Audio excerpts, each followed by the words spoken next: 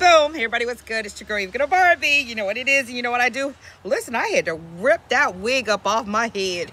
It's too hot for all of that. Willow, go inside. Go inside. Willow just got stung by a bee.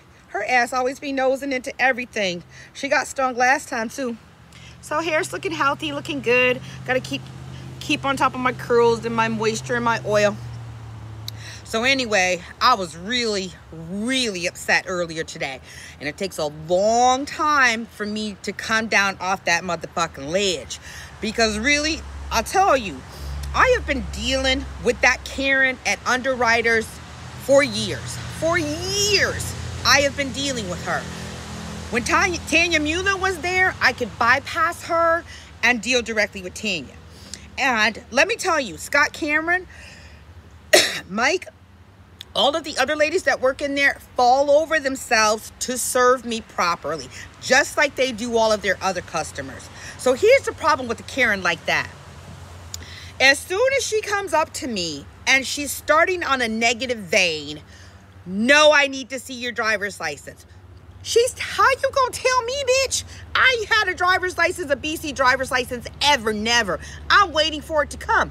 How are you going to tell me the customer that I have a BC driver's license. You would think after nine years of being a customer there, you would know that I do not.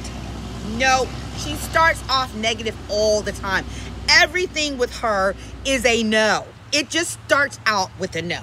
So I'm not the person to play the race card, right? I don't like it when black people, Latin people, Jamaican people, Afghanistani people, I don't care if you come from motherfucking Morocco. I don't immediately assume that someone's being an asshole to me because of the color of my skin. I immediately assume that you're just an asshole, right? And that your truth, the way that you live your life, the way you deal with people is how you deal with all people. I don't pull the fucking race card. I can't assume that she's being ignorant towards me because of the color of my skin. I just assume that she's ignorant. okay, she's just an ignorant motherfucking bitch. So again, I walk in there today. She got her little Becky hair over to the side. She got her little pin right here. She got her little pink nails with the white dots on it. And her attitude is just stank.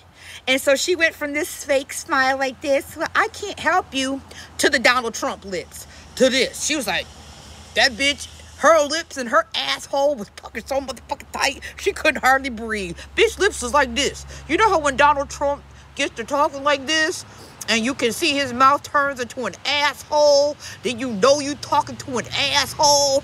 That's what I be dealing with. Bitch bad. She lucky I hadn't started on this yet. But I let her know in no uncertain terms that I wasn't having it no more. Today was not the fucking day, bitch.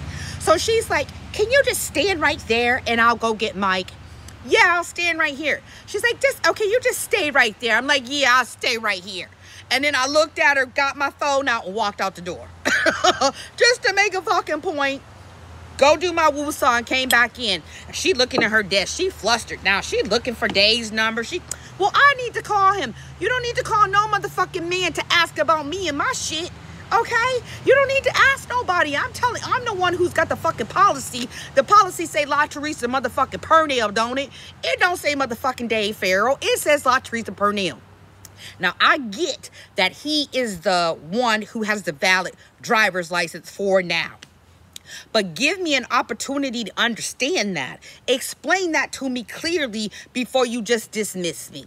So, like I said, as I said to end this story about crusty ass Karen at Underwriters, I told them when I went in to get all of my paperwork done. Now everything is up to date. My truck is up to date. I got new plates. I got new insurance. Dave's got a brand new motherfucking driver's license. We legal. We good to go.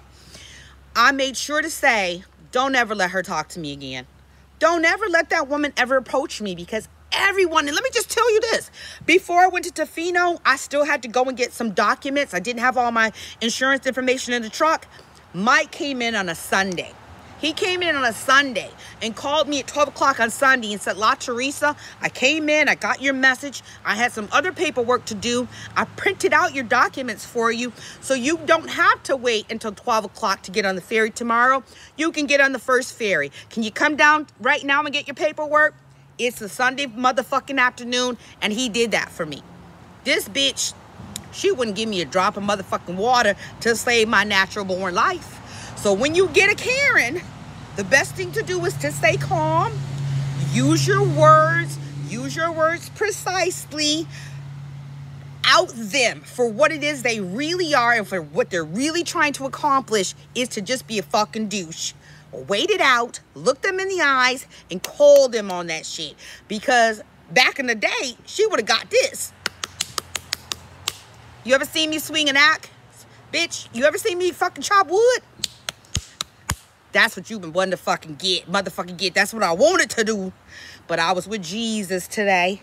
And Jesus say, no, don't bust that bitch up. Because you trying to be right with the Lord.